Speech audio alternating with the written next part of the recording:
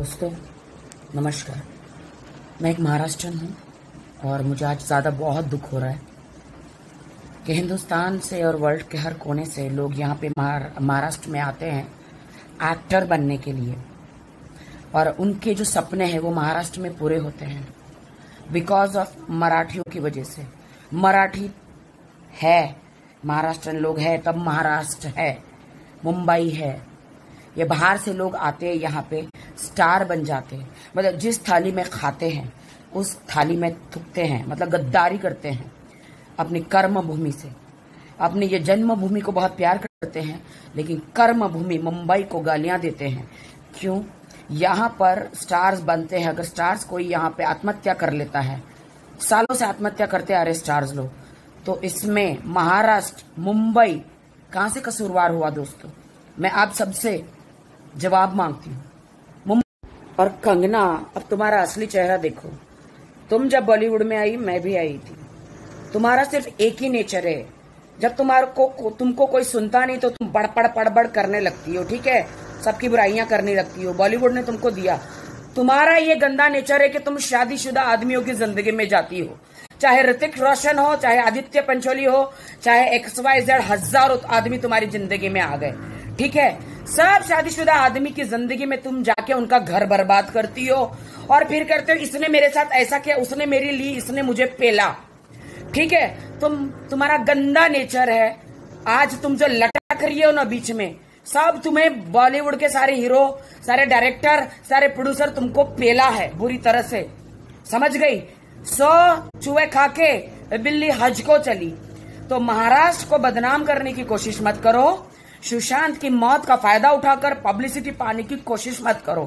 तो कंगना रनावत की असलियत में बताती हूँ। लोमड़ी के हाथ में अंगूर नहीं मिले तो बोलते खट्टे हैं। इसने सलमान खान को बहुत पटाने की कोशिश की। सलमान खान ने इसको धकेला चलाट गंदी चलाट बड़े बड़े स्टार्स हैं। इसने उसकी जिंदगियों में जाने की कोशिश करी। बहुत सारे बड़े बड़े स्टार्स हैं नाम नहीं लेना चाहते। इसको भगाया, हट। तो ये ये लोमड़ी को अंगूर खट्टे लगे। आप समझ रहे हो? और अभी अपने घर में उधर, पता नहीं कहाँ बैठ बैठ के हमारे स्टारों की बुराइयाँ करती है। मैं मानती हूँ कि सुशांत के लिए मुझे बहुत दुख है। वो मेरा भी दोस्त है। ठीक है? बट इसके हर आप बात, देश की जनता, इसकी सारी बात आप मानो, ये गलत है। ये मत भूलो कि महाराष्ट्र जय है। और महाराष्ट्र में यहाँ पे सबके सपने पूरे होते हैं। जो वर्ल्ड से लोग आते हैं। फ़िल्म नगरी। आई लव माई कर्मभूमि my Janmabhoomi. And I proud of um Maharashtra I really proud of Shivaji Maharaj Baba Saheb Ambedkar ji जितने भी लोग हैं शिवसेना में, मैं बहुत खुश हूँ कि हमारे मुंबई में महाराष्ट्र की सरकार आई है, बाला साहब ठाकरे की सरकार आई है, बाला साहब ठाकरे जिंदाबाद, उद्धव ठाकरे जी जिंदाबाद। बीजेपी जिंदाबाद, मोदी जी जिंदाबाद। मैं बहुत खुश हूँ और यहाँ पे रहना है। काम करो, अपने सपनों को पूरा करो और ये चुतियागिरी मुँह बड़बड़ बड़बड़ मत करो। महाराष्ट्रनों के खिलाफ मत बोलो, वरना महाराठी, मराठी लोगों को तुम लोगों ने बहुत नीचे दिखाया है। हैं? मेहनत करवाइए। आज महाराष्ट्र सरकार की वजह से मराठी लोग कुछ बने हैं। तुम लोग अपना काम करो और निकलो get out from our city बकवास मत करो। यहाँ पे अमिताभ बच्चन लेजेंड कभी कुछ बोलते नहीं है। तेरी इतनी औकात नहीं है कंगना रनावत जो कंगना रनावत, अगर तूने थोड़ा भी नौटंकी करी, तेरे शहर में बैठ के तू बड़बड़ कर। सुशांत के लिए तूने स्टेप लिया, ये अच्छी बात है। मराठियों के लिए कुछ बोलेगी तो एक एक मराठी से पंगा लेगी। तो को महाराष्ट्र में रहना मुश्किल हो जाएगा, महाराष्ट्र में शूटिंग करना मुश्किल हो जाएगा। और जहाँ से तेरे सपने पूरे होते हैं तो स्टार बनी है। आज तेरा नाम, जान, पहचान है, मुंबई की वजह से है फ़िल्म इंडस्ट्री की वजह से है। सबको गालियाँ दे, तू बड़े बड़े सलमान, इन सबको गालियाँ देती है। तो क्या समझते अपने आप को? क्या समझते अपने आप को? ये कौन सी झांसी की रानी है? भवानी है रे, तू भवानी। भवानी, हमारे महाराष्ट्र में लोगों को पूछ, भवानी क्या होता है? आ गया भवाने? आग आमचं डोकं फिरलं ना। आत्ता माझी सटकली, तर तू गेली, समज. भवाने, मुंबईत येणार ना, तुला दो कहती है, कंगना, के मुंबई में मैं आऊँगी। कोई रोक सको तो रोक लो, और ठोक सको तो ठोक लो। तो भैया, तुम शिवसेना के खिलाफ बोलोगी, हमारी सरकार है। हमारी सरकार शिवसेना बीजेपी के खिलाफ बोलोगी तो भैया ठोकेंगे ज़रूर। डेफिनेटली ठोकेंगे। बारी बारी ठोकेंगे। चेतावनी है, कंगना, तू कहीं की भी हो, महाराष्ट्र सरकार और महाराष्ट्र महाराष्ट्र लोगों के खिलाफ बोलेगी तो तू ठुकेगी और बहुत ज़्यादा ठुकेगी। इज़्ज़त से आ इधर, काम कर, स्टार बन और निकल अपने शहर। समझी? महाराष्ट्र में आके चुतियागिरी मत करना, वरना इधर तुझे सब पेलेंगे।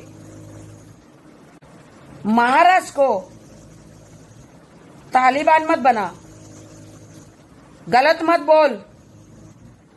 महाराष्ट्र को कंगना रनावत जिनका खाकर हमारी कर्म भूमि महाराष्ट्र, मुंबई, मराठी लोग, फ़िल्म इंडस्ट्री, तुम सक्सेस हीरोइन बनी हो, तुम तुम मतलब मुंबई की तुलना पीओके से कर रही हो। तुम्हें शर्म नहीं आती? तुम्हें शर्म नहीं आती कि तुम यहाँ पर आई, यहाँ पे तुम्हारी कर्म भूमि तुम यहाँ से स्टार बनी, पता नहीं कहाँ सड़ रही थी, कहाँ जन्म लिया, हमें नहीं पता। बट तुम यहाँ पर आकर मुंबई वालों को, तुम शिवसेना को, बीजेपी को गालियाँ दे रही हो, मुंबई के स्टारों को गाली दे रही हो, और मुंबई को बुरा बोल रही हो, यहाँ का खाती हो और यहाँ पे बुरा बोलती हो, तुम्हें शर्म आनी चाहिए। तुम्हें चिल्लू भर पानी में डूब के कहीं चले जाना चाहिए। तुम्हें लगता है कि तुम झांसी की रानी हो, तुम कहीं झांसी की रानी, एक फ़िल्म करने से झांसी की रानी नहीं हो जाती हो।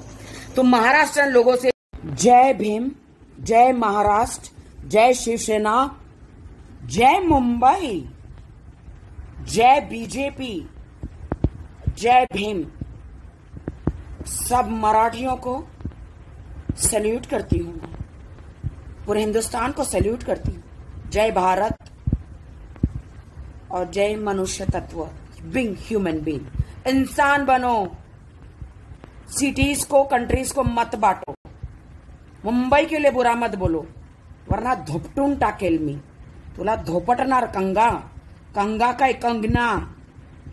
आत्ता माझी सटकली. ए पहाड़ान ए पहाड़ान, मुंबई के खिलाफ, शिवसेना के खिलाफ और हमारे लोगों के खिलाफ बोली तो हम बर्दाश्त नहीं करेंगे, बर्दाश्त नहीं करेंगे, जहाँ से आई वहीं पहुँचा देंगे। समझी? चुप रहे।